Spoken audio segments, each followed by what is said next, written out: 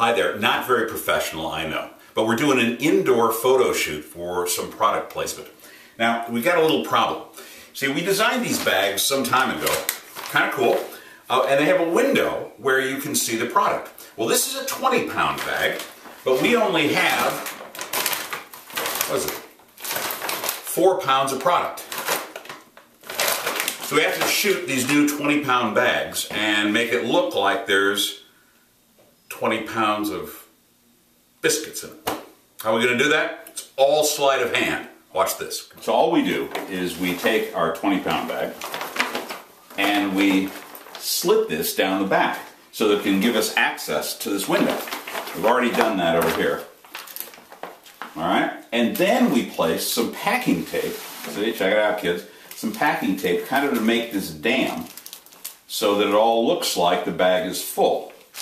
But obviously it's really not. Gosh. Smoke and mirrors, kids. Smoke and mirrors. We'll be right back. All right, we're going to try to finish this up over on this side. Or packing tape. Lay it in there. Pull it across. cut it off. All right, the acid test. Let's see how it looks. Not bad. Now we'll fill that in with um, some other product in the back, and voila, stuff the back. We'll show you. All right, so we've got the dam done. Now what we're going to do is we're going to take a multicolored pillow Put it in here so that it looks like it's got a little bulk. Going to rest right behind that. And then, of course, man's best friend, duct tape. And we'll seal off the back cut that we made. And we should have a bag full of product to shoot. Hold on.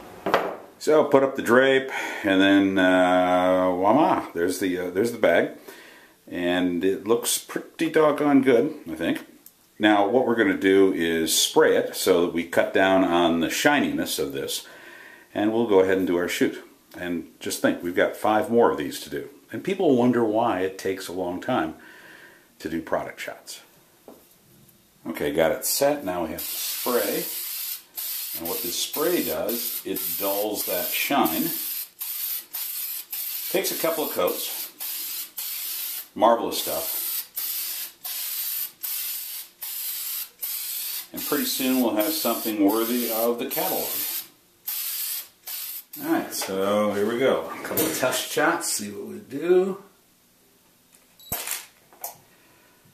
Oh yeah. Don't worry, the hat won't be in it in the end.